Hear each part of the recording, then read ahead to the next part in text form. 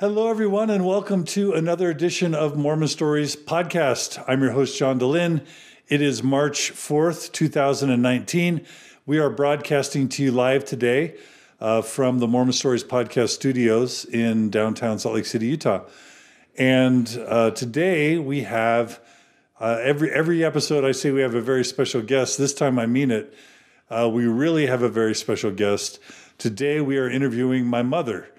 Um, she was born as Nan Parkinson Parkinson. Uh, eventually, when she married my dad, uh, her name was changed to Nan Parkinson Dehlin. And then uh, uh 30, I don't know, 33 ish years ago, when she married uh, my stepfather, Don McCulloch, her name changed to Nan Parkinson McCulloch. Uh, but my mom and I were talking recently, and we realized that I've done over a thousand hours of interviews and never interviewed my mom or any immediate family member. So it's time to change that. Uh, so, um, because we're broadcasting live, we really do welcome any of you who are joining us live uh, to feel free to join in with your questions or comments. I've already had people ask uh, mom to think of some embarrassing stories she can tell about me. Many people want to know, uh, you know, about her faith journey. Uh, many people want to hear her observations about what I was like as a, as a Mormon kid growing up. And of course, many of you want to know uh, what it's been like for her um, to see my podcast, uh, you know, uh, emerge and thrive. And then, of course, many of you want to know what her uh, reactions were to my excommunication and my ultimately not being a member of the church anymore and um, and so yeah, there's a lot we could we could cover, but mostly I just think she's a fascinating and interesting person. So I'm really excited to have her uh, on the podcast. So without any further ado, uh, Nan Parkinson Dehlin McCulloch, welcome to Mormon Stories podcast. Thank you, John. How does it feel to be on my it's podcast? Really, really fun. a couple a couple things that are interesting about my mom. One is that she still is sort of a um, a believer in a sense, and so we'll be talking about her beliefs. But I wouldn't say she's orthodox, so we could talk about that. She's 84 years old. Um, also, she's one of the very few members of my immediate family that have really listened to my podcast. Uh, she's probably been tuning in the longest of any family member, and has probably listened to the most episodes over time. So that's kind of fun for me. Anyway, mom, uh, it's good to have you here. Well, any, it's just real fun to be here. any corrections you want to make to my introduction? I don't think so. Okay. Um, a couple other things we'll talk about uh, that are going to be interesting. Uh, mom's, uh, mom's, mo- uh, you know, her husband Don McCulloch. Uh, he he is sealed to his first wife who passed away before he married my mom. So we'll be talking to, to mom about her reflections on, you know, technically being a, a plural wife in heaven. And also we'll talk about um, her her faith journey and uh, kind of how she how she views her faith and Mormonism uh, in the modern day. So, all right, Mom, um, let's just begin. What do you know just and, and details aren't super necessary, but what do you know about your your Mormon ancestors? What what can you tell us just about to what extent you have pioneer ancestry that you remember? Well, I didn't ever get to meet my grandparents because they were dead before I was born.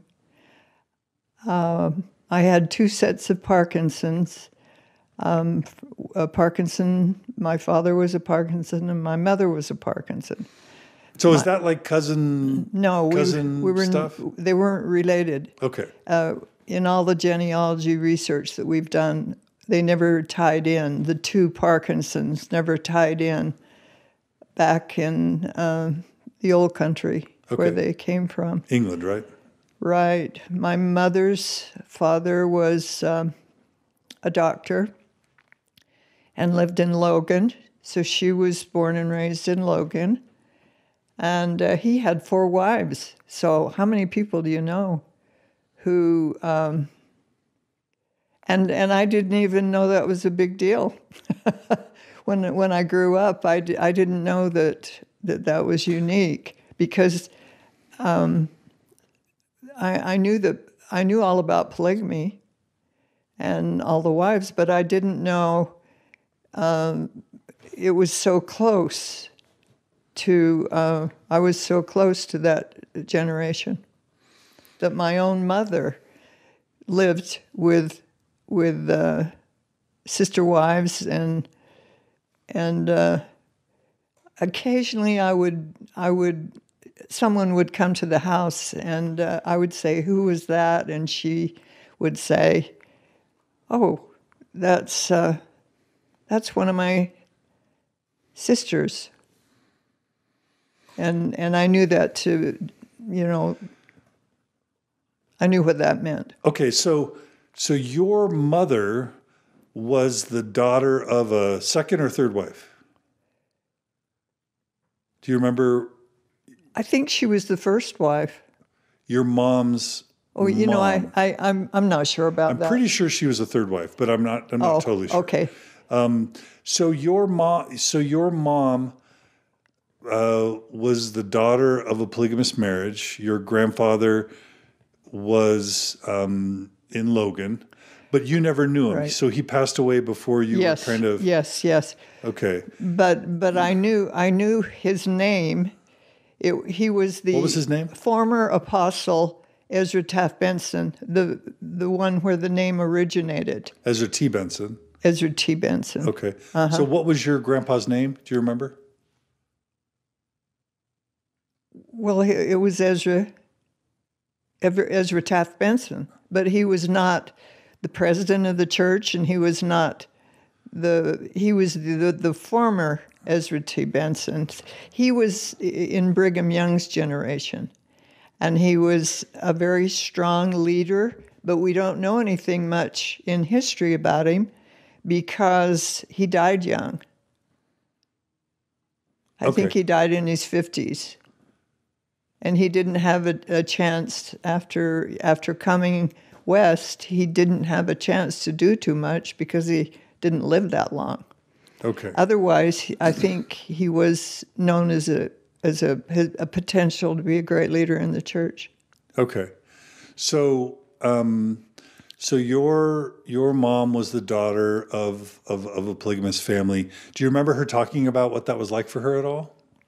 It wasn't it wasn't anything to talk about because she didn't think it was a problem.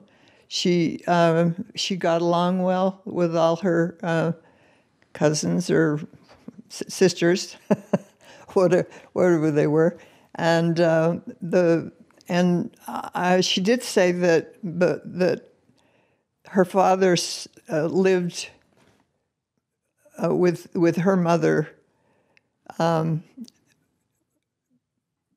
Well, her name was um, uh, her mother's her gra- her grandmother's name was Edith Benson, and she was the one that was married to to Ezra Taft Benson. Right. And and uh,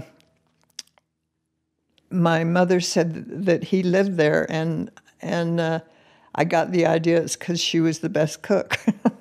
she thought she was the best cook, and that he liked her cooking.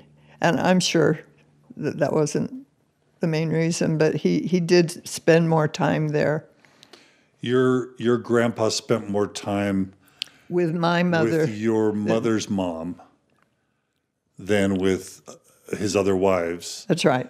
according to your mom, because she, because her mom She was, was the best cook. cook. okay. Did she ever talk about what it was like? You know, animosity between the wives, or No, any, she never mentioned it. Forbid any sexual kind of stuff. Oh, no. Between Well, I know one of his wives lived in a hotel, and she was kind of a uh, she um, she was kind of different. I don't know if they even had any children. They may have, but um, but my mother's father was a doctor, and my mother was at the age that she could drive him to his patients, and she used to drive him when he was in a horse and buggy. So she would drive the horse and buggy and um, take him to do his rounds in the morning. And uh, then when they got the first car in Logan, I think it was one of the first cars in Logan, then she got to drive him in a, in a car. And she never drove, to my knowledge, in my lifetime. But as a young girl, she drove her father to, to make his rounds. And I used, I used to laugh to myself, thinking, I wonder if he went to see all his wives. I wonder if that was part of his the routine in the morning when he went to make his rounds. I'm sure that wasn't the case because he was a very dedicated doctor and very, very responsible. So I'm sure he wasn't just. but I, it used to make me kind of smile. Okay, so I just Googled just to make sure we were getting the names right. So your your mother was named Karma Parkinson, right? Karma Benson Parkinson. And her it looks like her father was William Brigham Parkinson and her mother was Edith Benson mm-hmm, Parkinson. Mm-hmm. Okay? Mm-hmm. So the Ezra T must have come somewhere else. Oh, okay. Um, but anyway, that, that's but that's who the physician was was the William Brigham Parkinson. Okay. And I, I think I remember he studied at Tufts University a little bit. He, he was he even was in Chicago, yeah. uh, spe- specializing in ear, nose, and throat. Right. He went back and he was he he studied um, at, at the same place that my granddaughter graduated from medical school. It's kind of interesting. Yeah. Okay, so so your mom would drive her father around to doctor's appointments and you wonder whether he drove her around drove him around to his various wives. Well, it just occurred to me that he had a lot of business to take care of and and uh, and she was the one that drove him and it just it just I thought it was funny the thought of of him going to see some of his wives. Okay. But for you, were you ever embarrassed that your mom was a doctor? No. Like growing up, you grew up in Franklin, Idaho, uh-huh. right? Uh-huh. You you didn't grow up embarrassed that your mom was the daughter of a polygamist, or No. even that wasn't a challenge to your testimony at all. No, it Why did- not? Didn't bother me any in any way because it didn't bother her in any way. It it was not a big deal at that time. Okay. Um, and your your mom somehow is related to Ezra Taft Benson, the prophet, right? Well, she they're cousins. We mother was more closely related to the former Ezra Taft Benson, Ezra T. Benson. Ezra T. But Benson. she was still cousins with Ezra Taft Benson. Yes. So But she would have known but- him- would but she have- she was more closely related to him than the than the the one who had his name sake, the namesake, Got Ezra it. T. So would she have known Ezra Taft Benson, Oh, the, sure. the ultimate Yeah. Secretary of Agriculture Oh yeah, prophet? he he he lived in Whitney, Idaho, I think, and that's just very close to Franklin. and would, would she have had any memories of Ezra Taft Benson, what he was like growing up? Yes, uh huh. What would she And- have said about him? Well, she didn't say anything about him. She said something about his wife. What'd she say? well, I, it's kind of personal. Okay. So, but she did have personal memories of, of both Okay. both of them. Okay. Anything about your your dad's ancestors you want to say? We've talked about your mom Well, they were bit. from Franklin, and their name was also Parkinson. Okay. and they had a large family, and um, um, they they were they were landowners. They um, they had farms, and uh, my father grew up as a hard, hard-working man, and later, when he first got married, he wanted to be an attorney, and so he was studying law by correspondence at the time of the Depression. And because of that, he had a large family and he had to stop and he didn't get to finish his law degree. But he did go to the University of Utah, I think, for a year or so. And he was an athlete. He ran track and he, uh, he uh, ran with Creed Haymond, who was a famous athlete in the church. a lot of these stories I don't I don't know if I should tell. You should. You should tell every seedy or embarrassing or controversial Well, story that comes to mind. Um, he he told me personally that when he ran track for the University of Utah, he ran with Creed Haymond. And once he was in a race with him, and he raced up beside my father and he says, If you don't let me win this race, I'm going to cleat you. And that meant they would he would get kicked in the in the shin with the cleats. Okay, there's a listener, Heather Heyman Hardle, who says that that's her great grandfather. I know I know people who are related to him, and and and uh, I you know I can't say it's true. I just know I heard it from my father's mouth, and he, I I think he was probably older and more proficient, and that he didn't like this young man from Franklin, you know, Competing with him. stealing his thunder. I, I, it's just a guess. Now, you, uh, you've mentioned your dad is a gentleman farmer. What does that mean? Well, his father was a gentleman far- farmer. Okay, what does that mean? Because whenever he had a picture taken or, or any anything, he had on a suit with a vest and a hat, and and uh, and he had on um, a, a, in in his lapel was a flower, like a carnation Okay. and he was out in the barnyard standing there in his farm. So he had lots of sons who could do the farm work for him. And the, the boys all grew up working very very hard. Okay. Uh, but I get the sense that your dad, f- farming didn't become his full time profession. no he just worked as a young man worked hard and then when he went to college he went to the university of utah and he blot- got a block u. I don't know what that means but he was an athlete and he uh, studied there for a year or so and then the depression came and he had to stop his law study of law that he was doing um, correspondence which Okay. was very sad for him because he would have been a great lawyer so he ended up selling insurance Okay.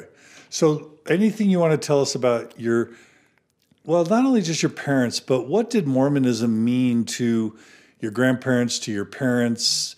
This is, you know, Franklin, Preston, Idaho. This is where Napoleon Dynamite ended up being filmed. This is sort of a little bit north of Logan and Cache Valley, southern Idaho border. This is clearly an area that, that the early church leaders would have colonized or established. So, what did Mormonism mean to sort of your parents and ancestors in the Franklin Preston area? What, It was it was their life. That was the life, the life. I didn't know anyone who wasn't in the church. Everyone was a member of the church, and uh, my father was very uh, kind of a character. He wanted people to come out of Sunday school marching because he didn't like them to be visiting, making a noise. And so he would show them how to, he would get up and show them how to march out of, out of sacrament before they went to class so that they would be, they wouldn't make a noise and that they would march like soldiers because he, he was, he was in the First World, World War and uh, wanted to be a great soldier, but he, he lost his trigger finger in a in a farming accident, and so he couldn't be on the front lines. of World War One. Is that right? Yes, of World War One. So your dad didn't get to. Did he he? got to go. your dad fought in World War One. He got to go, but he wasn't on the front lines because his, he lost his trigger finger. Okay, And so, um, that's a blessing. I just saw a movie about World War One, and it yeah, was it was nasty. atrocious. And so he he loved the thought that he was a soldier, and he had pictures taken with his uniform and everything, but he he didn't. Um, you know that was that was the extent of his uh, military career. Did he ever talk about his war experiences? Did you ever feel like he was scarred by the war? No, no, I didn't feel anything of the kind. I just feel like he was on the periphery because he wasn't able to be out there on the front lines. Okay. Did he serve a mission? Did your dad serve a mission for the Yes, church? New York. New York, New York City. Mm-hmm. Okay, so if if he's having people march out of Sunday school, that would give the impression he was a really strict Well- kind of uh, Mormon. He he was, but he was funny. I mean, he was he had a great sense of humor, but he was strict about certain things. You didn't talk in church. Um, you didn't make a noise or a disturbance, and you were polite and things like that. He was strict with, but he he he was very funny. He had a great sense of humor. Okay, so your parents uh, met. Anything you want to talk about them meeting or getting married? Anything well, they, interesting? They met uh, at a dance, a sorority dance in in Logan. Now, your mom, Karma, your mom, was she one of the first graduates of, of Utah State University Well, as a woman? she was one of, one of the first women graduates. That's a big deal, right? It was a big deal, and and there, I had lots of friends from Franklin, but only one whose whose mother went to college, only one that I can remember, whose mother went to college. So it was unusual that she w- went to college, and and she told me that after she had been two years at the AC, That's the agricultural college. That's right. Mm-hmm. What Utah State was called before it changed its name to Utah State University. After she went two years, her father said, That's enough. Girls only need two years, so you can't go anymore. And she was heartbroken. And so she begged, and she used to she used to beg through her mother. She didn't go directly to her father. We didn't do that in those days. Even I didn't do that with my father. We we went through the mother. The mother was our intermediary. and she begged her father to let her continue and graduate from college. And so uh, her mother was able to con- convince him that she could graduate from college. So she went two more years and graduated. And it was fun because they went to a, a get together for all the graduates, the ancient graduates of, of the AC. And there was a man who got up and spoke. And he said that um, uh, he was telling about his life now, what, what he'd done since he'd been to college. And, and he said that he, um, he spent a lot of time with his wife and they did everything together. Uh, they, he even mopped the floor with her. And so my mother was, was a quiet, ladylike person, and she always gave my father the floor and laughed at his jokes, and she never said anything funny. I, I don't remember anything, but I remember this. Um, she got up and she said, Well, my husband and I do a lot of things together, but he would never let me wipe the floor with him. and so um, I thought that was that was cute because she So when she's fighting to get those extra two years of college, is it because she's a feminist? Is it because she's an intellectual? no, no, she was- What would have been her drive to defy her father and get those f- four years of college instead of just two? she she treasured knowledge. She read a lot. She was well read. She treasured knowledge. All her brothers were were doctors and so forth and well educated. And she kind of didn't think it was fair that that that she didn't get to graduate and the and the boys did. All the boys did. And uh, her her older sister was just a beautiful woman that played the piano most of the time, and her youngest sister, Edith, was too young to enter into mother's growing up. She was quite a bit younger, so mother was the only, and mother did the, most of the work. She used, they had a bathroom downstairs, in on the first floor and the upstairs is where the, the boys all slept. They had all these boys in their family, and they had to use uh, the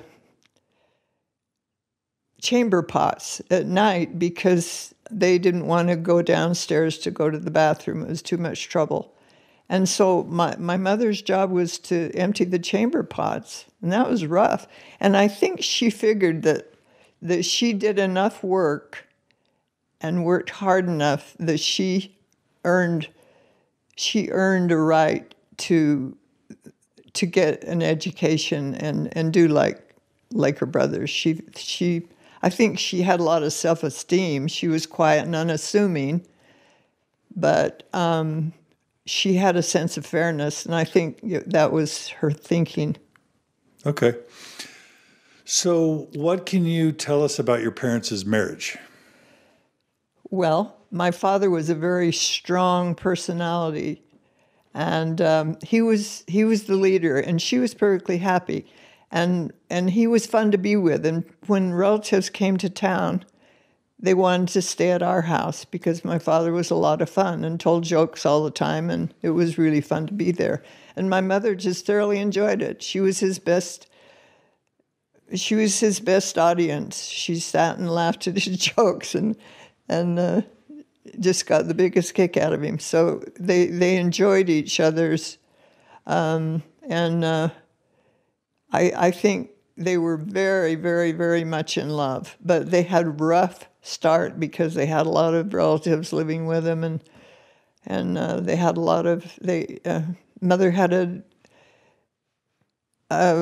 daddy's sister who had a smallpox, and the medication left her uh, somewhat uh, mentally ill, and uh, and this this sister didn't treat mother very good, and and so um, it was it was a hardship for her to have to have her living with them, newlyweds.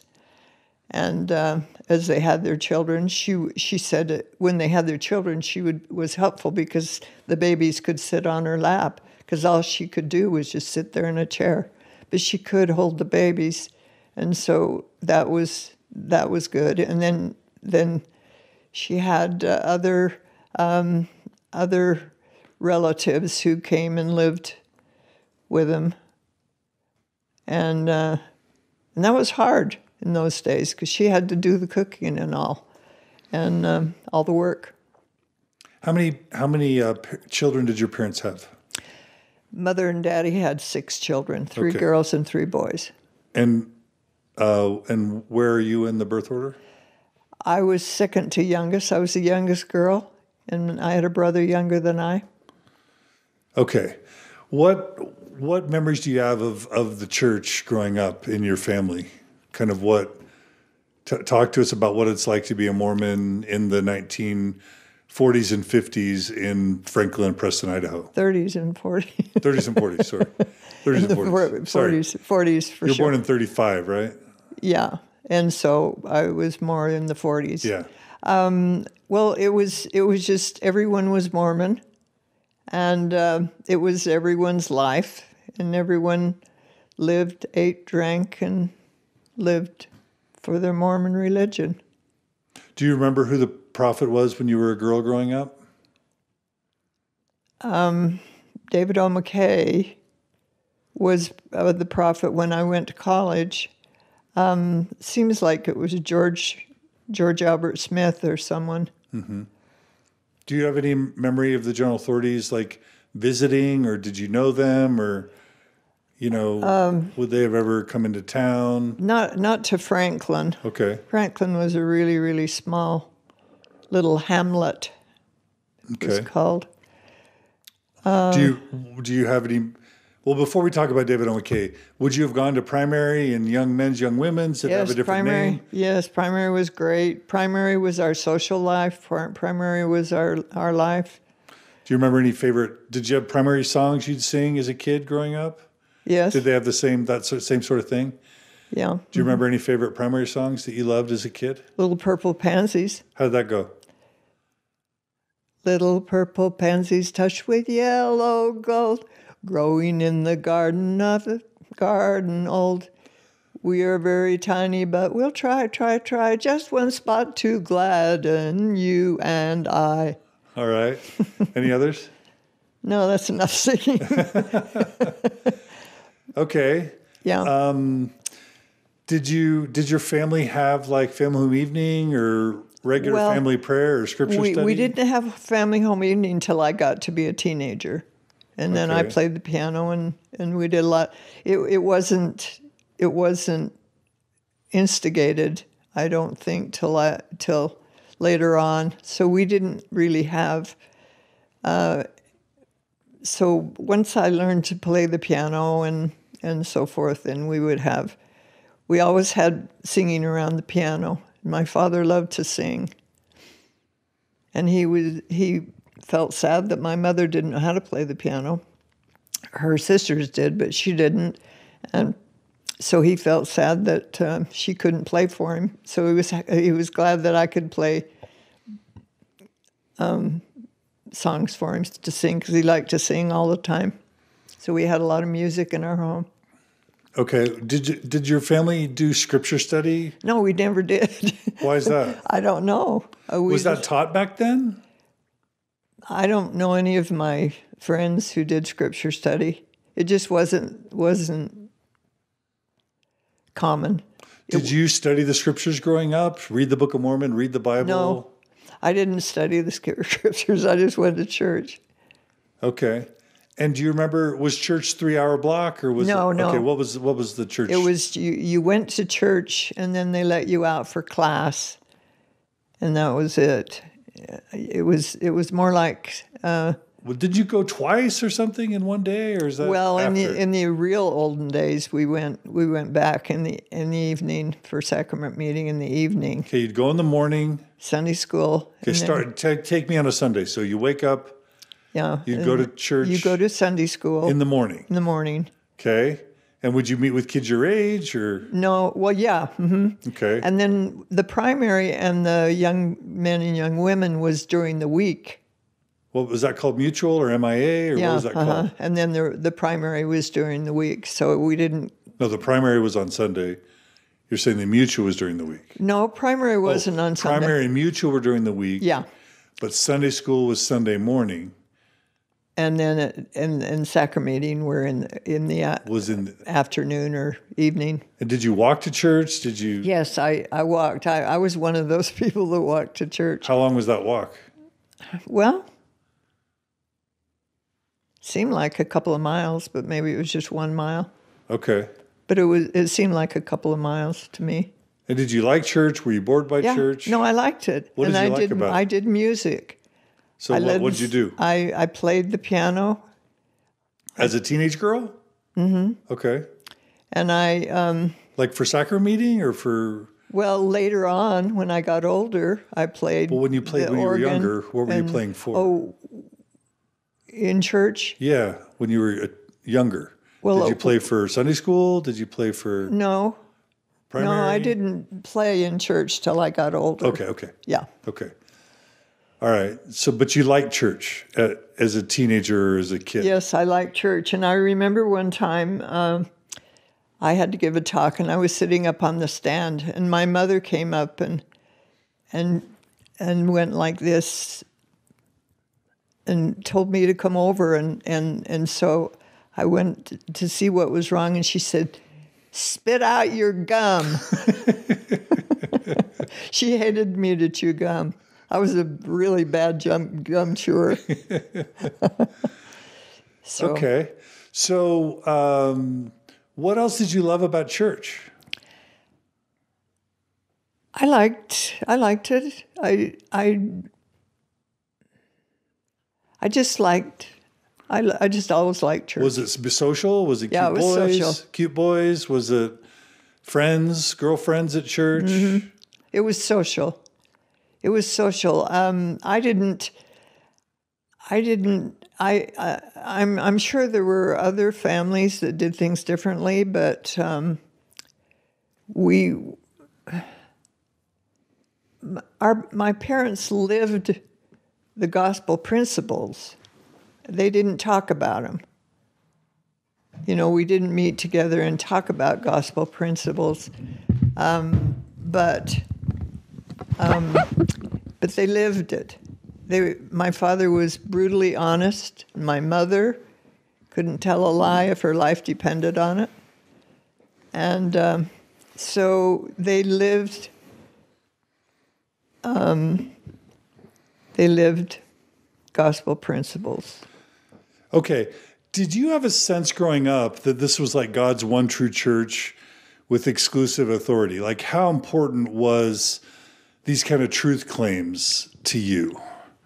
So, did you believe it was God's one true church growing up? Yeah, I thought it was the only church. the only church.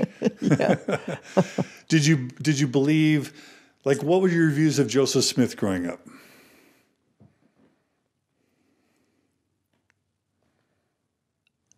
I don't I don't remember. I, I don't remember having any particular views. Did you kind of like Joseph Smith is my hero kind of thing? Well, no, he was just he was church. That part of church was compartmentalized for me. What do you mean? That the part of the doctrine and the um, The doctrine, the theology, the yeah, history. I I uh, uh, it, it, I didn't take it seriously. You didn't take the doctrine or the theology. I or mean, the I I just seriously. accepted it. I didn't take it seriously. I didn't study it or ponder over it or anything like that. So, as a teenage girl, what did you care about?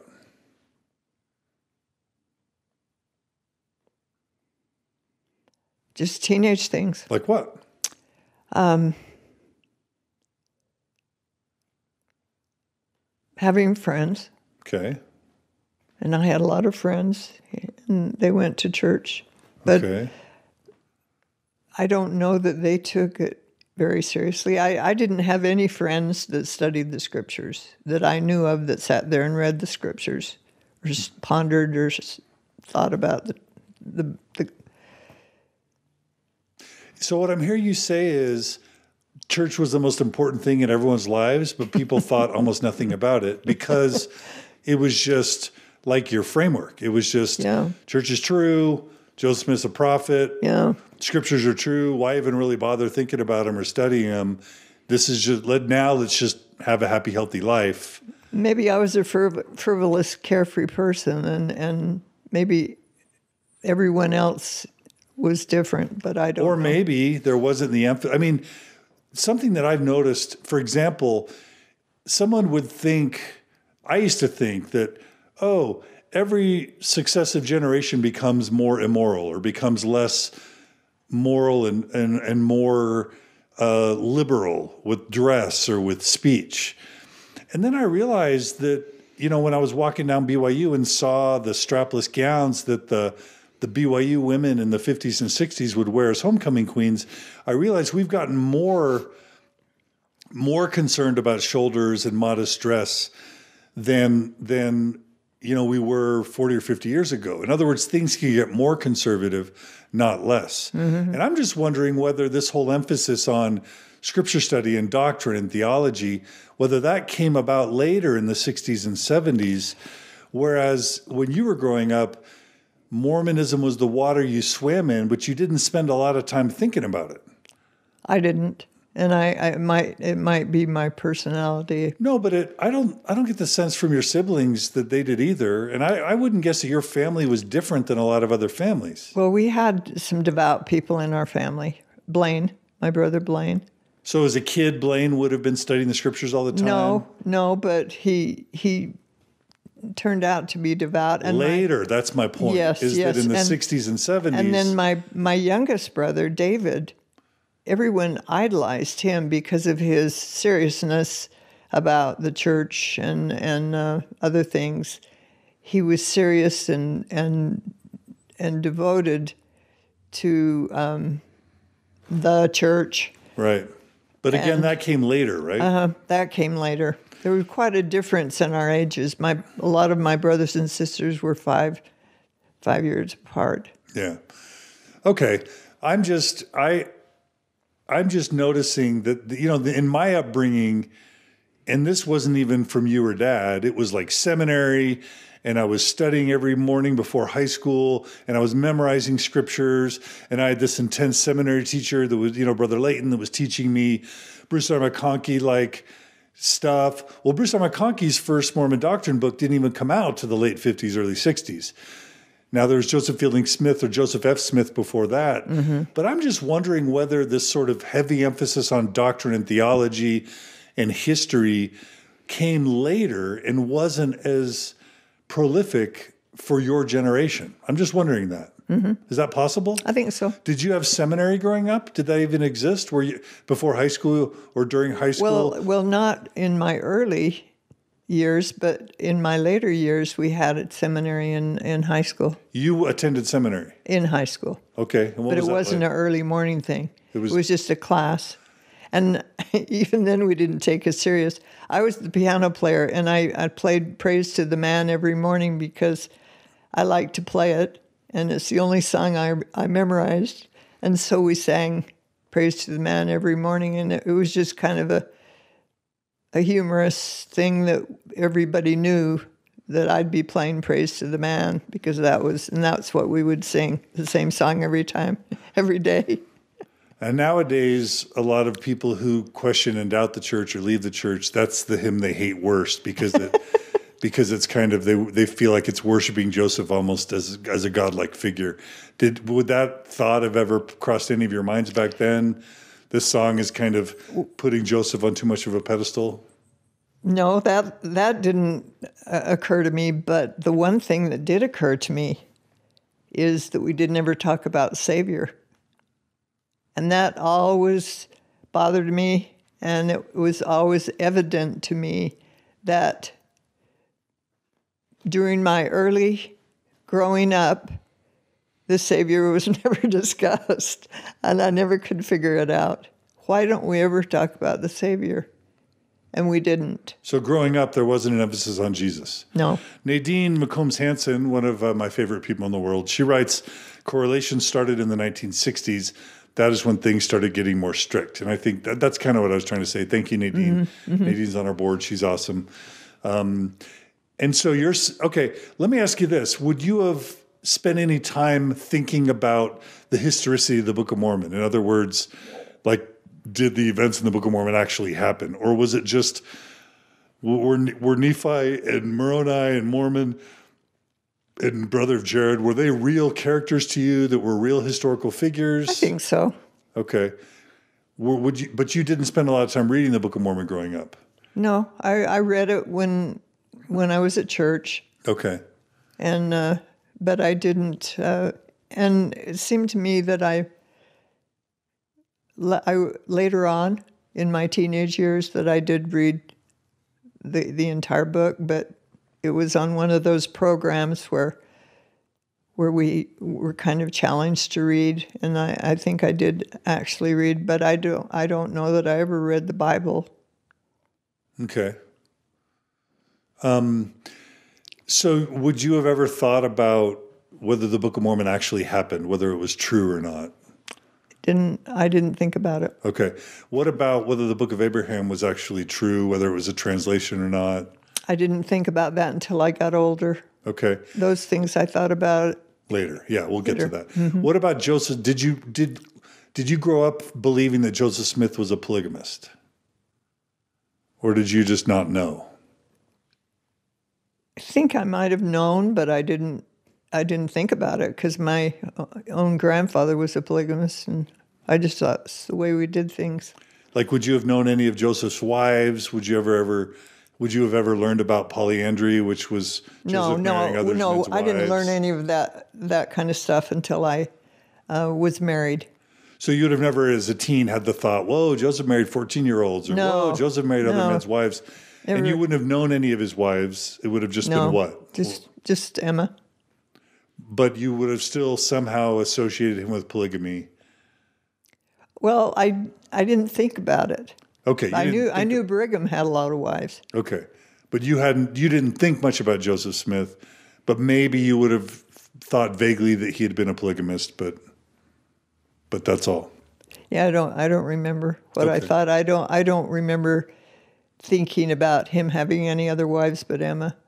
What would you have thought of as a high school kid about, um, you know, about b- black people, African Americans? So you would have been growing up prior to the priesthood okay. ban was lifted, right? Yeah, I can honestly say, and I'm a truth teller, I grew up without prejudice.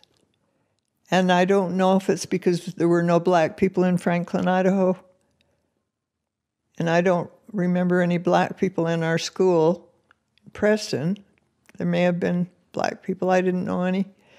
Um, I didn't know black people till I was married, and I was totally untouched by prejudice in that regard. Meaning you had positive regard for, absolutely. for people of color. Absolutely. And when I, when I when I was first married, we lived in an integrated neighborhood and it was the most natural thing in the world to have neighbors in the 50s to have neighbors that were black and friends, close friends, because my husband's boss in the federal government was was a black man, and they were we uh, we loved those people, and we were very close. And sometimes their children would make jokes about uh, about themselves, and uh, and I I was never really a party to that um, because um, my I, I, it was a very respectful relationship, not just because he was my husband's boss, but because I I respected them especially. So as a teen growing up, you're saying you wouldn't have like thought ill of people of color, you wouldn't have condoned racism, you wouldn't have been scared of them. No.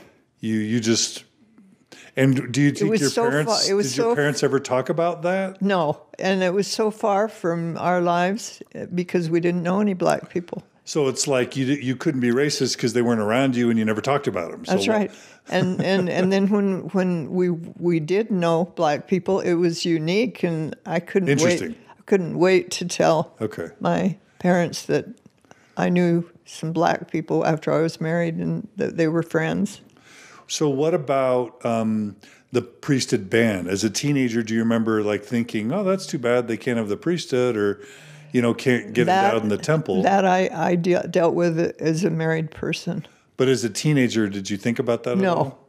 didn't even because they weren't around, didn't even and the civil rights movement hadn't Right. totally happened yet. Yeah. So, didn't even occur to me Okay, that it was you that it was a about it. problem. what about Lamanites? You know, God turning their skin dark because of a curse.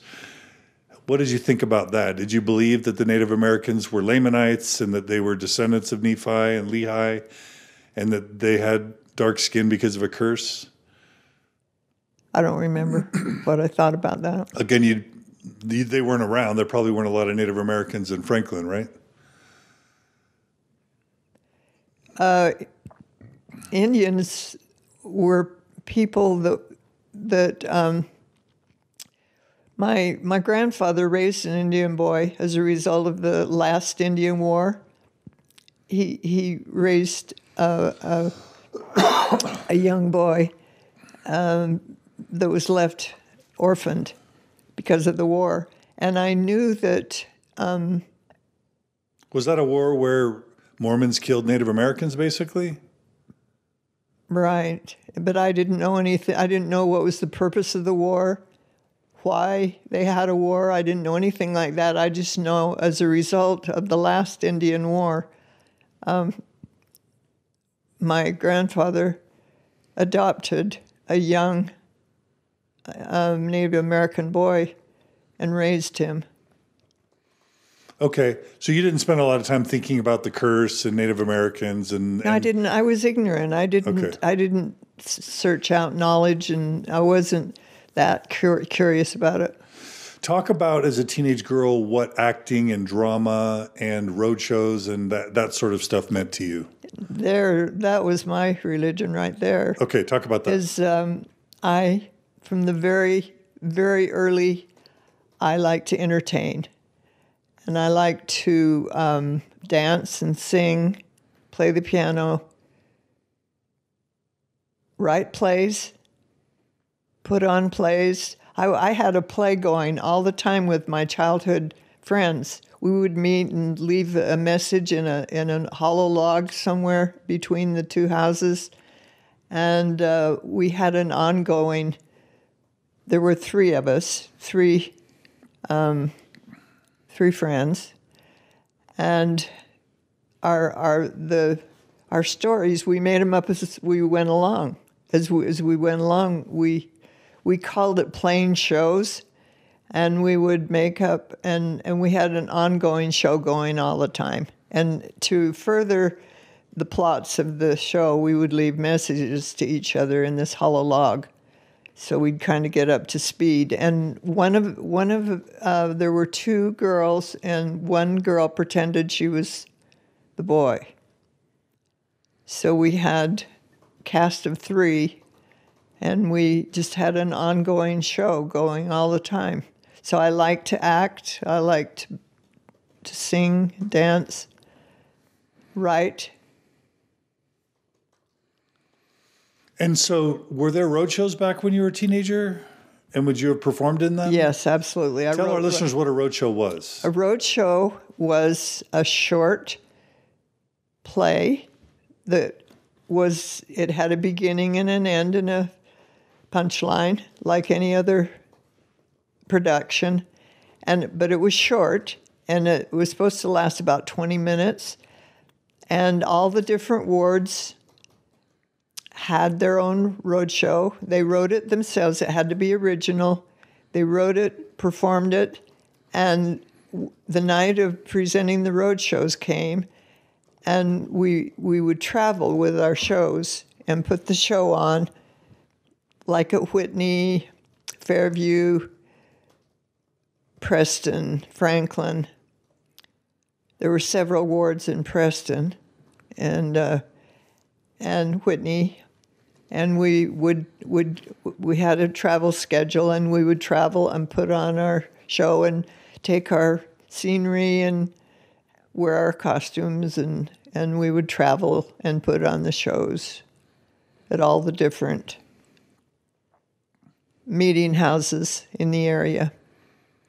And how was how was Mormonism the center of cultural life growing up? Were there balls? Were there Yes, they had know, they had a Gold and Green Ball every year, and that was really what was that? really wonderful. That was that was a a formal dance where that everyone looked forward to that because that's the only one we had, the Gold and Green Ball. Okay, it's like a And then- fancy everyone dressed up Uh-huh.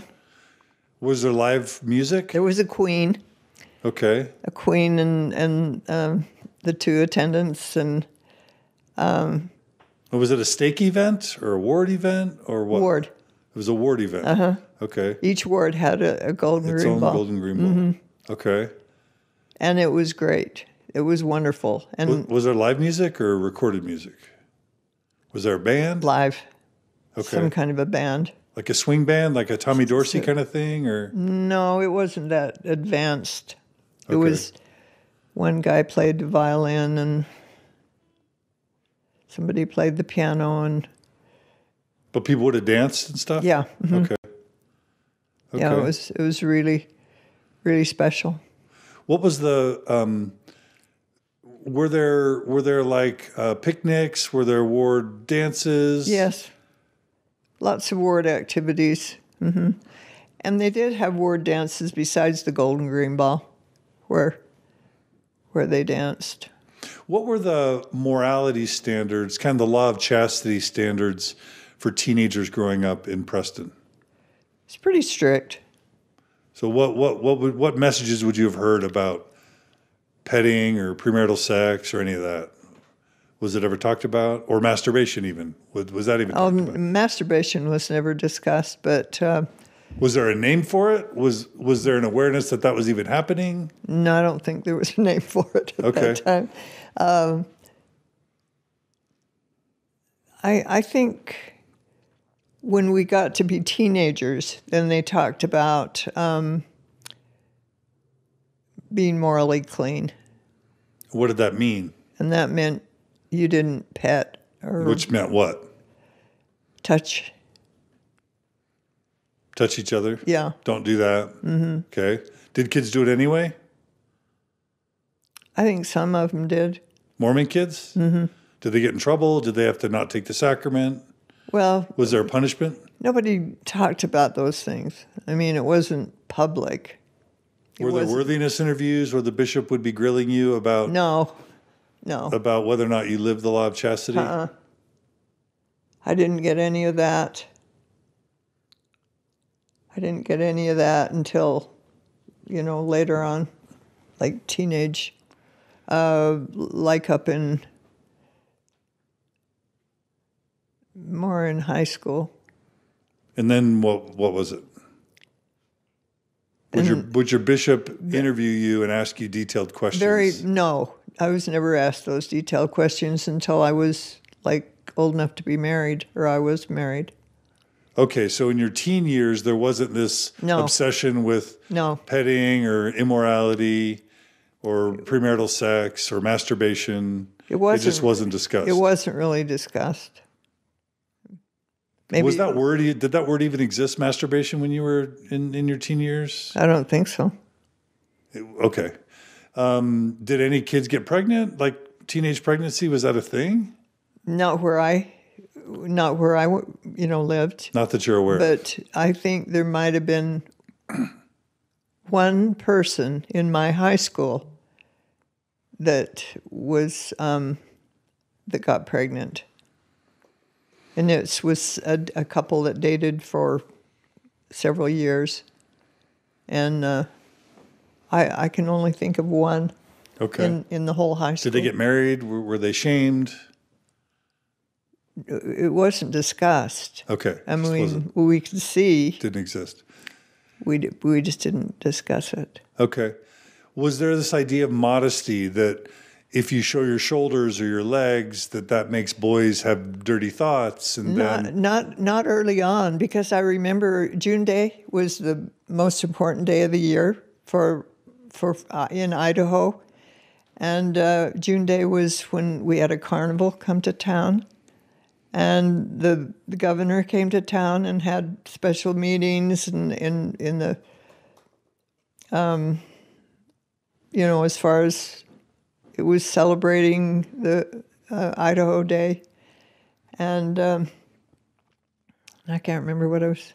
uh, I was asking about modesty and dress Oh, and oh, so, shoulders and so every, legs every and- year, every year we had to have something special for June Day, and I I remember when I was uh, young, a young little girl, maybe preteen, I had a little ruffle thing that went down kind of uh, on the shoulder a little bit.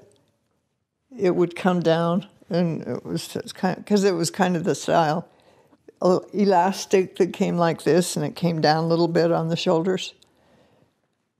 No one thought anything about it. And I've seen photos taken of you before you were married, and in evening gowns and your full shoulders, even some cleavage a little bit. No, I don't Well, definitely shoulders. Yeah, And nowadays, shoulders, you know, there's this huge obsession, like Mm-hmm. the whole, you know, prom or homecoming dress industry. You got to cover the shoulders. Uh-huh. yeah. It seems like that wasn't a thing. Well, in, in high school, the the gowns were a little more um, fancy, and uh, and I I talked about uh, in my history. I talked about being the the sweetheart of Preston High, and that was a big deal because I wasn't ever the Gold and Green Ball Queen or anything like that in Franklin. But when I went to Preston to school, I finally, my senior year, was the sweetheart of Preston High. And Is that uh, kind of like homecoming queen, kind of? yeah, Okay. Mm-hmm. there was a special sweetheart ball.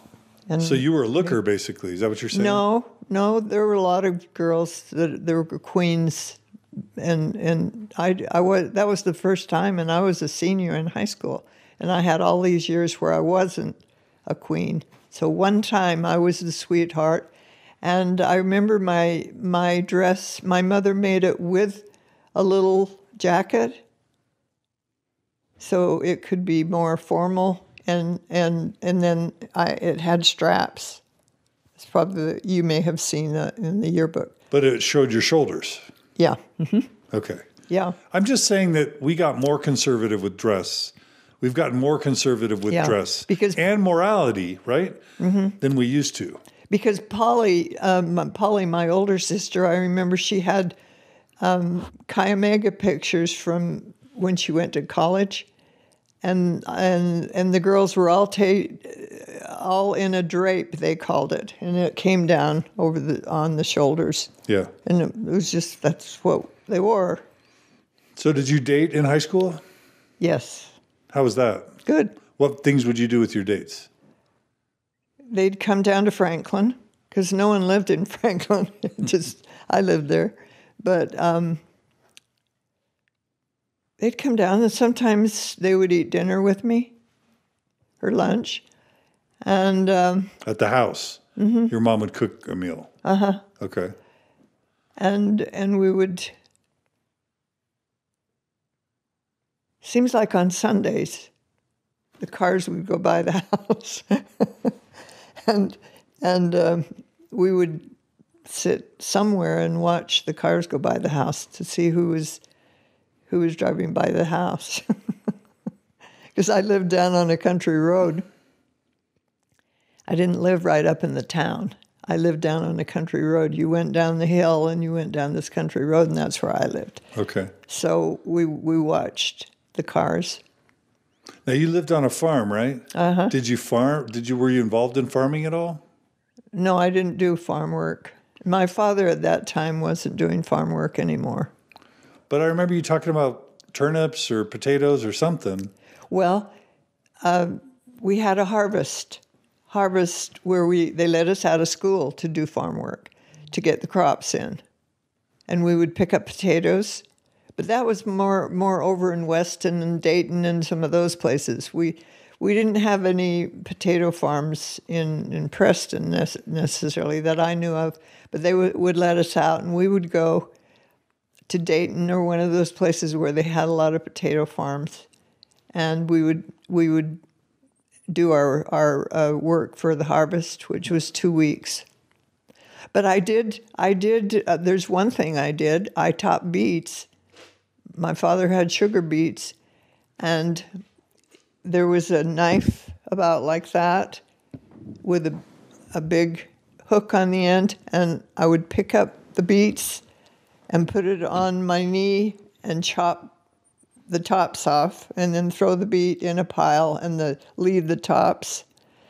And uh, sometimes I would hit my. I still have scars on my leg where with that big hook would go into my leg through my clothes because the beets were heavy. They were large and they were covered with mud, heavy, and it was that was a big job.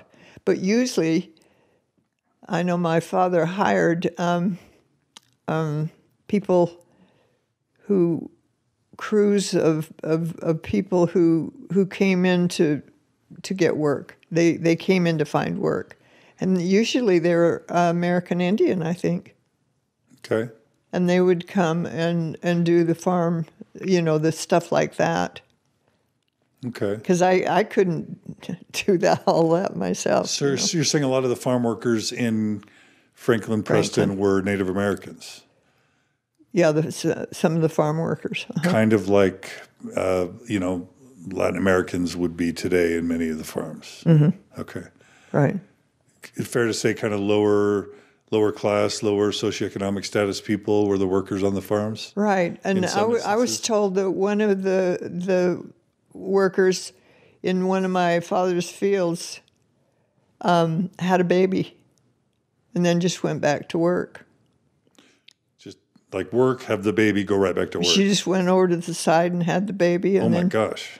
put it on her back, and And kept working. yeah, Oh, that's amazing. Yeah. And awful. yeah, Okay, you would have been born right in the middle of the Great Depression, uh, 35, right? Mm-hmm. Do you remember anything about the Great Depression? I mean, by the time you were five, World War five or six, World War II would have broken out. right. So I'm not guessing you would have a lot of memories of the Great Depression, right? Well, there were a lot of ration things that were rationed because of the war rationings. Um, sugar. Couldn't get sugar. We that we couldn't get a lot of things like that. And I remember that the rule at my house was you could only use three squares of toilet paper. That was that came down from my father. Toilet paper was hard to get when you had a large family. So three squares, the three square rule Okay, was firm. all right. um, and you would have, what year would you have graduated high school? One of our listeners is asking, this is Cheryl. Hey, Cheryl. Cheryl wants to know what year you graduated from high school. So let's see. 53. What? 53. 53. And it was the Preston Indians, right? Yep. Yeah. Okay. So thir- you were born in 35. So 53, you would have been 18. That makes sense. Okay. And you were a cheerleader at Preston High. Yeah, that's what did an- that mean to be a cheerleader? That's another thing I, I didn't get. Um, I I wanted to be a cheerleader more than anything. It was just a dream, and I tried out like when I was a sophomore, and I didn't make it. So I just thought, oh. And I tried out for the marching corps, and I didn't make that, and I was just heartbroken. And um, then later, my mother said she was glad I didn't make it because my dad didn't like the uniforms. He didn't like the scanty uniforms. The cheerleaders and flag twirlers wore scanty uniforms. but they were still all Mormon, right? Yeah, Okay. but they weren't. Their father wasn't as strict, but my father was more strict with what you wore. Any stories you want to tell about your dad being strict religiously? Well, um, uh, when well, let, to finish this other story, when I got to be a senior, there was a girlfriend that I had who lived in a hotel up in Preston. She lived in Preston in a hotel. They, they ran the hotel and they lived in one of the apartments. And she asked me to try out with her to be a cheerleader. So when I was a senior, everything came together for me when I was a senior. I was the sweetheart of Preston High, and I I became a cheerleader. And it was fun because the, the, the person I dated, the boy I dated, was the star of the basketball team. Okay, so this is Delisle Condi, right? Yes. Okay, so you started dating Delisle your senior year? No, I dated him before that. And what was he what was his status and what was he like? Wait a minute, I was t- I was on another story and I wanted to hurry Oh, go ahead. finish it. Um, Okay. Well, you said you De- Delisle, you were dating the Yeah, but before that, I was finishing the, the story about the cheerleading. Okay. Oh, that that was just my heart's desire, Okay. and so I made cheerleader. At my senior year, I made cheerleader, and it was just so convenient because I was dating Delisle, who was a star of the basketball team, and that was so much fun to be a cheerleader at that time. I loved that. I loved being a cheerleader. It was so much fun. And uh, um, yes, I, I dated Delisle. I, I dated a couple of other boys, a little uh, older boys. But then they would move on. They would graduate from high school and move on. Um, and uh, Delisle was always my age. We were always in the same age, but he didn't. He didn't ask me to go out till um, I- had I had another boyfriend when I was um, well the, I had one when I was a freshman and then he graduated then I had one when I was a sophomore and he graduated and uh, then I I got serious about Delisle we were always friends but then we we were kind of steady dating at that time And he went on to become a star basketball player at the University of Utah. He was right? a star basketball player in, in high school. He made he made all he he was the all star. He was there were like three nationally known basketball players, and he was one of them. and he went on to play at the University of Utah, right? Mm-hmm. Okay. And and I don't know why I went to the BYU, and so we could never get together. We were like engaged. I was wearing a ring and everything, and we just never get to, got together because I was at BYU and he was. Um, he was at the U. And uh, so I thought, well, that's stupid. I, I I should go to the U. And so I had I had been to the U, I had been to BYU, and then I went.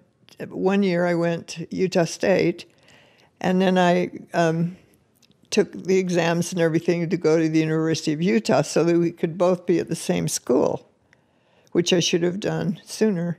And uh, I got accepted at the University of Utah, and I was really excited about that. And I was, uh, you know, we, I, was a wonderful person. He was a scholar. He was a, um, he had a family of of uh, attorneys and doctors. He had a brother who was a doctor. He had his father was an attorney, his brother was an attorney, and he wanted to be an attorney. And um, so he just happened to play basketball. Okay, so so by it seems like by your senior year, you're gaining a lot of social status. You're popular. You're the cheerleader. You're dating the star of the basketball team.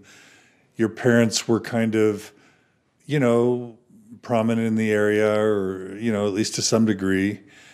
Um, and by then, Ezra Taft Benson, who is your mother's cousin, was probably going to be serving in the Eisenhower administration, right? Mm-hmm. So that's a lot going for you. Mm-hmm. Um, what? How in the world did you end up with my dad? well, when you're not near the one you love, you love the one you're near. love the one you're with. Is that when you can't be with the one you love, love the one you're with, right? Is that what you're saying?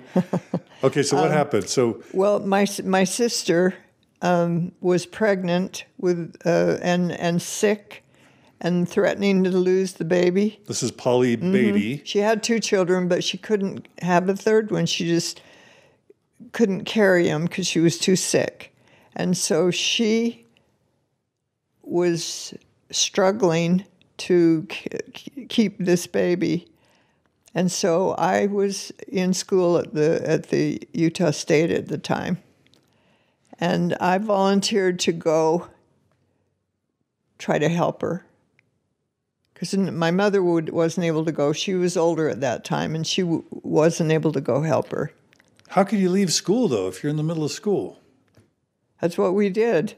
We somebody needed to go, and my mother wasn't able to, so I left school in the middle of the, in the you know, in in the middle of the year. I left school and went to California to help my sister. And I stayed there. And um, eventually she lost the baby anyway, but I, I was there trying to help. I was cooking and taking care of the two children. And uh, this would have been Kathy and Joan, right? Mm-hmm. Little girls, right? And uh, and I was engaged all that time to Delisle Condi. Yeah. Mm-hmm. Delisle Condi. And so we had planned to get married as soon as I got home from um, California. So my mother went ahead. She she planned a. I think. Yeah, she planned a what they called a trousseau tea. It's it's a like like a shower. Only you the parents give it to you. A trousseau tea is what they called it. And uh, when I was taking care of my sister, they introduced me, the husband, Jim, my brother in law, introduced me to a young man in the ward. And he asked him if he would take care of me because I was down there and show me a good time and and take care of me because I was there working and they wanted me to have some downtime where I would I would have, have some, some fun. Yeah. And this is what city in California? San Pedro. San Pedro, which is in the Bay Area, right? Is that right? Is it Northern no, California no, or Southern California? It, it's it was closer to Long Beach. Okay, Southern California. Yeah. Okay. And so I was working my head off, and I was having a social life with a young man named Dave Dehlin. David Joel Dehlin. Mm-hmm. So that's who Uncle Jim introduced you to. Yes, and asked him to take care of me and help me have a good time because I was working hard. And, and this so, would have been in the mid 50s, right? Mm-hmm. Mid 1950s. Late late 50s. Late 50s. Mm-hmm. And, so this is um, Elvis. Elvis is popular. Poodle dresses, right? Is that? Mm-hmm. Is this Grease time? Like when, when when we think of Grease? No, that was was Grease came later. Oh, okay. Yeah, this was early, early, early, um, and so I uh, I got to know Dave, and he was a lot of fun, and he um, was at the time was was uh, was what was practicing Mormon. And I don't think he had always been, but at this particular time he was. And so he, someone had gotten him interested in going back to church because he, and he was in the Coast Guard. So he was in the Coast Guard, and on on his days off and Sundays, he he would be involved in church activities. Just as a quick side note, I'm I'm hoping to interview my father uh, later. So, Dad, I hope you're listening to this, and I hope you'll come on. Uh, I'll just you know a little bit about my dad. My understanding is he was born to to Preston Alvaro Dehlin in Salt Lake City. Um, my grandfather Preston was not educated. Uh, I get the sense that he did a lot of menial labor. Um, but my dad was went to South High School, which doesn't even exist now. There's a West and the East in Salt Lake City, but there was a South back then. And he didn't finish high school. He would have left home, I don't know, at age 15, right? Would have had a very rough upbringing. Um, and yeah, he ended up working in the Merchant Marines during No, the no. Korean War. No, that was Jim. Uh, Dave was in the Coast Guard. For, for the Korean War? Dave was in the Coast Guard when I met him. Right. I think he might have served in the Merchant Marines prior to the Coast Guard. I don't think so. That was Jim. Okay. Well, Okay. anyway, he ends up in the Coast Guard, but he definitely had a rougher childhood. Is Yeah. that fair to say? Mm-hmm. Didn't graduate from high school. Yeah, because his- didn't his- go to didn't. His mother died as a child, His mother died when he was one years old. two years old. Uh-huh. Yeah. Okay. and uh, and uh, his his fa- father remarried, and she was a good woman. But it- was it was not a real happy um, life. He didn't have a real happy life, but he, you know, she was a good woman, she's a good cook, and took care of him. And And so his time in the church would have been spotty during those teen years. Right. But definitely probably wasn't refined and educated like Delisle. Is that fair to say? Right, he Delisle had uh, every advantage And so my dad was kind of scrappy. So how would you describe Well, dad a little more? Actually, he was he was kind of a smoozer. A, sh- a schmoozer. yeah. What do you mean? Well, he just kind of fit in wherever he he wanted to. He he played the piano by ear, which was fun. He could play, um, and um, we liked to sing together. And he'd play the piano, and, and we'd sing. And um, he was, and when I the reason I I say he was a smoozer is because he was very friendly. And um, one of his best friends was an old lady uh, in the ward there, and that she's the one that got him to go back to church. But he was he he was kind of um, nice to everybody and and uh, and a lot of fun, and so I would say he um, he was just uh, fun to be with. And you know, when you're when you're on this sort of golden track of marrying a prominent, you know, basketball star, college attendee guy, Delisle Condi, your parents want you to marry this guy. It's almost like a, a social status thing. What did was it just that you were far away from Delisle and and so you were lonely? Or was it that that you sensed something special in my dad and Dave that you didn't have with Delisle, that he met a need that Delisle didn't. Do you have a way to kind of describe what what made you kind of fall for dad and and cancel the engagement with Delisle? Well, I, I think it was because um, it was new, the newness of it. Um, and and I, I had that with every boy I ever dated. There was a period uh, when the newness was there and it was exciting and, and that sort of thing. And um, I, I think if I had, I, I remember thinking, I wonder about why my parents don't tell me um, to wait. um, because I was very obedient and I would have listened to them when I um, met Dave and when it, when it was time for me to go home after being down there in San Pedro, he took me to the station and and uh, gave me his dog tags, and um, told me he was in love with me. I don't know if he told me he wanted to marry me at that time, but it, it seemed like it. But I was going home, and I already my mother had already planned this trousseau tea where they they come and like a shower for me, and uh, so so when he he you know he did that, then I started thinking, well, this is pretty exciting, you know? And so I, I, I went back and I had the newness of this relationship on, on my mind and uh, the excite, during the, ex, this exciting period of, of, of knowing this, this young man that was, that was very um, different than any anyone I'd ever dated. He was different, and he was um, a lot of fun, and he liked to dance and he liked to sing, and and we did a lot of things together, and uh, it was fun. And so when I went home, I went right to this trousseau tea where they bring come and bring presents, and and no one knew who I was marrying.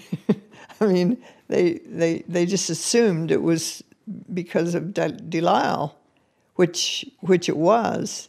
But in the back of my mind, in the back of my mind, I I had just had somebody say they loved me and wanted to marry me in uh, in San Pedro, and I I, I still I, I was confused.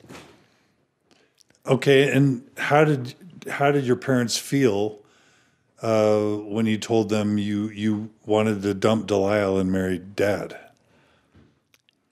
I don't think I think they were worried, but they didn't they didn't tell me not to or they didn't warn me to why why didn't I wait and go back to college another year.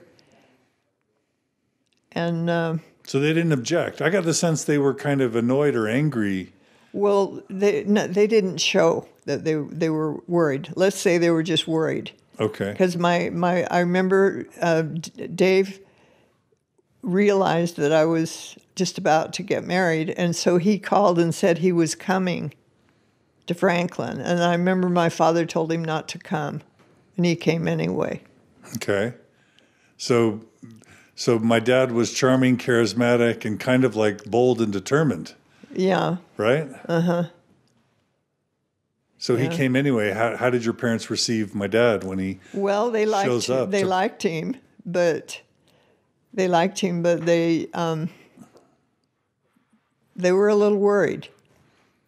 Yeah, because Delisle again came from a, a, a prestigious or a well, uh, a higher society family. Well, not higher than mine, but higher than my dad, right? Yeah. Right. It, mm. comparable social station to your to your family, but certainly higher than my dad's family. Delisle was in college, Dad wasn't. Um, so I'm just, you know, it's kind of like that. I, I would just imagine your parents would like, who is this kid? Who are his parents? What's yeah. his background? Mm-hmm. They were worried. Yeah, they were worried, and and uh, and like when when they when Dave called and said he was coming, and my father said, "Don't come," and they came anyway. Okay, but he, but Dad kind of charmed him. They they yeah. liked him. Mm-hmm. They liked him. They always liked him. And so they gave they gave him their blessing? Well, not right right at first, but we spent a few days together. They were going on a trip to New Orleans, and uh, they left me for one day. They left me alone, but uh, you know we, you know they explained they trusted us and it would. And, and they they had to leave on the trip, and then I went down to Diane and Lee's. That's your your sister Diane. And then Logan. Okay and uh, and so um, then Dave had to get back because he only had the weekend, off from the Coast Guard. You usually don't get time off when you're in a full time Okay. Active duty. Okay. Yeah. So he went back, and and I and I I had this dilemma that I had to choose, and it it was it was a hard hard hard choice.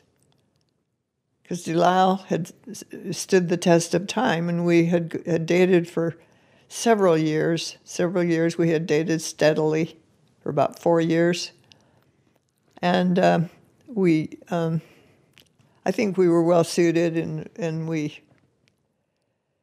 had a great relationship. But suddenly there was this this other person that comes into the picture, and he said he loved me and wanted to marry me, and and um, I just I felt like I had to I had to make a decision because it seemed like every summer I would go away to Zion and work Zion National Park, and I would come back with a boyfriend.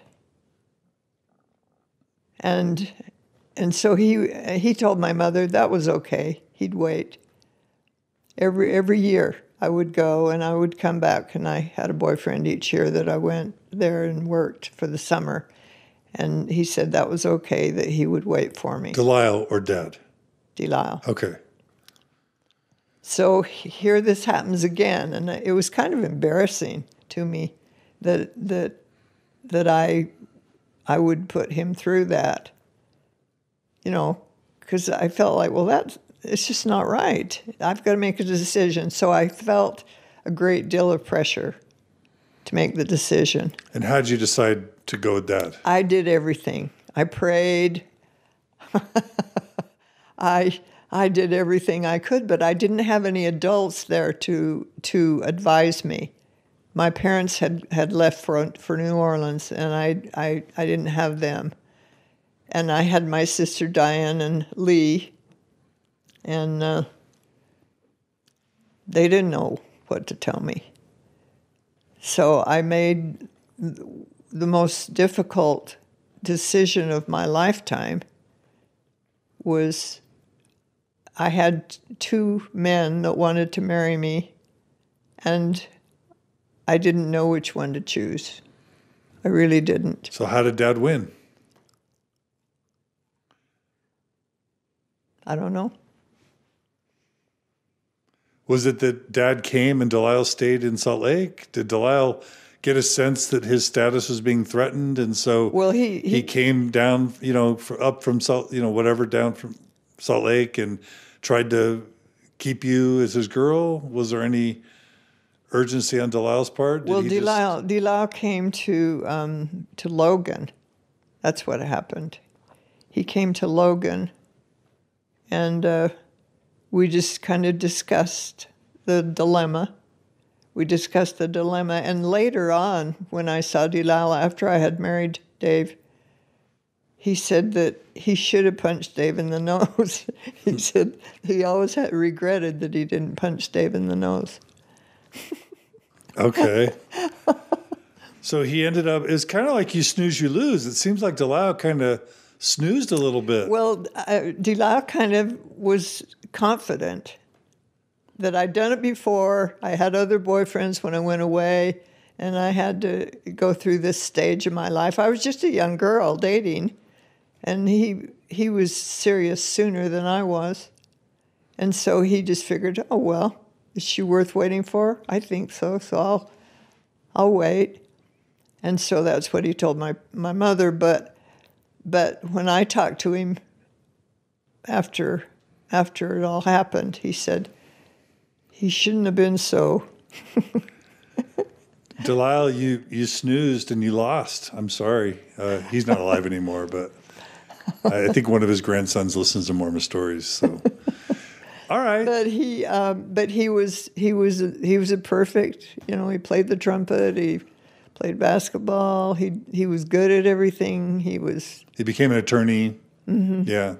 he was secure, very secure, and uh, and Dave ha- had the ability to do all of that, but he just hadn't had the opportunity. Right. So, So- I I figured I was kind of like uh, that I felt like if he married the right person, he would turn out to be a great man. so I kind of thought, well, maybe I could help him. So in a way, teenagers kind of think that they're they're important. How old were you when you married dad? Twenty. Okay. And I remember you telling me that once that if you had married Delisle, Delisle would have been great with or Yeah. without you. Yeah. But with dad, with with your addition, you could have helped dad be great, and then you would have felt more like you were a part of something. Is that sort of. Well, well, well. That that I, I I felt that it that he would be great if he married somebody that was devoted to the church and and could help him. I, I, I think that's a teenage way of thinking yeah? girls think.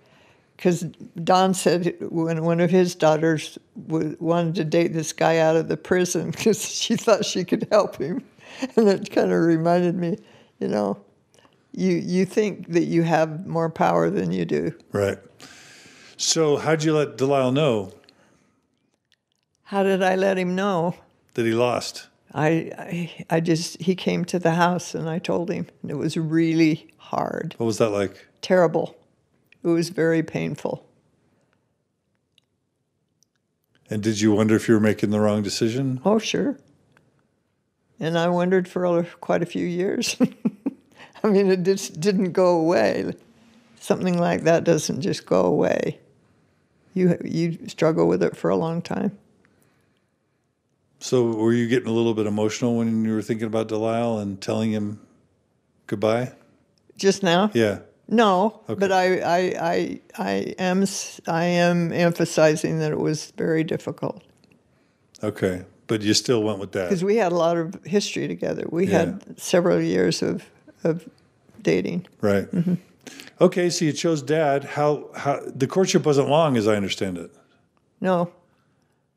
No, um, I don't remember all the details about about that, but um, but Dave was had to go back to the Coast Guard, and so I I you know went ahead preparing to get married.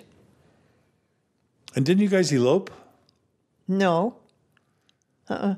my parents drove me to St. George, and we were married in the St. George St. George Temple. Uh-huh. Why St. George? Why not Logan Temple? because we met Dave, and then I went back with him.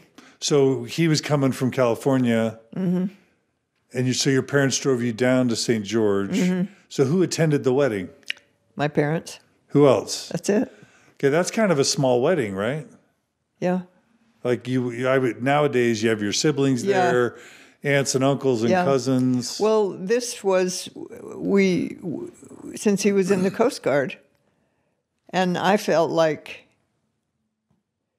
you know, if I'm going to all this trauma of breaking up and everything, I, I don't I don't want to go through this anymore. I don't want to go away and get another boyfriend and come back and and, and I don't want to do that anymore. I think it's time that I made some sort of a de- decision. And so what I should have done if I'd had parents there to advise me was go back to school and think it over. But I didn't. I decided it was I, I wanted to make make it no there's you can't turn back. this is the decision I've made. And that was the decision I came up with. just to get married in St. Well, George. Yeah, I mean it wasn't it wasn't frivolous. I mean I was serious about it. It wasn't frivolous. It wasn't. I mean it sounds like it the way I'm describing it, but it, but it wasn't that way. It was it was more um, you know this is time that I that I make this decision. Would you say you loved Dad when you married him? Yes, I think so. What did you love about him, other than you've said he was fun and entertaining and charming? You sang and played music together. Yeah, and I what, think what I think he had a him? lot of potential. Meaning what? Just uh, he had he just had a lot of potential. he was articulate, very articulate, and uh, I thought he would. Uh, I thought he he would turn out really well. What'd you love about him?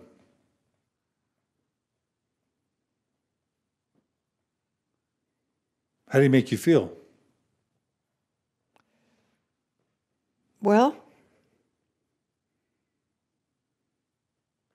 I I don't know how to what to say.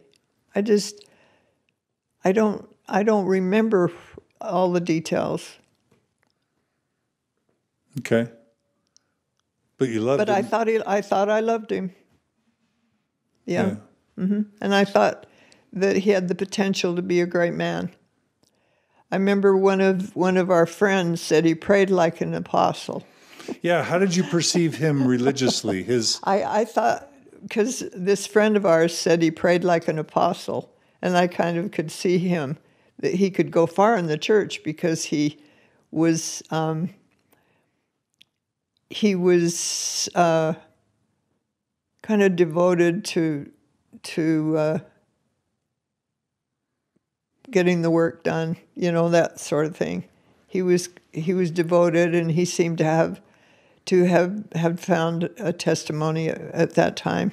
and was that important to you? Yeah, So he seemed to have a strong testimony to you. Yeah. hmm And I just thought he could turn out to be somebody really, you know, he hadn't had the opportunity, the opportunities that that the people I grew up with had. Okay. and uh, and it just seemed like he he had the, all the potential in the world, and he just needed somebody to believe in him and, and help him. Okay. So you got married in the St. George Temple what year? I don't know. What what year was Gina born? I wonder if it was fifty five. When when were you you were, Gina would be 13 years older than me. I was born in 69. So Gina would have been born in 50, 56, 55, I think we were married, and Gina was born in 56. In fifty six. Okay, so you're, you were married in 55. Gina was born in 56. Yeah, a year later. Okay. And now we're going to just cover a whole bunch of time in a very small amount of time. So, really quickly, what did you think of the temple ceremony? When you would have gone through the temple, was there a movie when you first went through the temple, or would it have been actors? Um, Your endowments for the first time. Would your mom have gone through with you? yeah. And would your would there have been a movie in the late fifties, or would there have been I- actors? I, I don't remember the ceremony at that time. I don't remember, but but generally, we had uh, a movie, and there were two different versions of it. And so the you know the stuff that they've taken out, like the penalties and the you know the the violent Masonic stuff, did did that, and also the the women's stuff, where the women's veiling their faces when they're covenanting to their Oh, we, husbands. we who- had all that. and how did that strike you at the time? Well, I thought it was kind of weird. Um, I I I didn't. I wasn't real comfortable with it, but it was okay. So it was weird, but not enough to, Yeah. to be troubling to you. Yeah. Is that right? Well, Mormon Stories listeners, we are interviewing Nan Parkinson, uh, Dehlin McCulloch for, for uh, simplicity's sake. This is my mom. So far, we've covered her early years growing up in Preston and Franklin, her high school years, and her marrying my dad. We're going to take a short break. Um, we're going to grab a quick bite to eat, and uh, we're going to rebroadcast in about 15 minutes. And we're going to get into kind of her life uh, and my upbringing, and then talk about how her faith has evolved, her reactions to my to Mormon stories, uh, her faith evolution, my excommunication. We're going to cover all that. So, uh, thank you for joining us so far. Forgive us for the break, and join us in about 15 or 20 minutes, where we get into the good stuff, uh, more of the good stuff, with with my mom, Nan Parkinson McCulloch. Thanks, everybody. See you soon.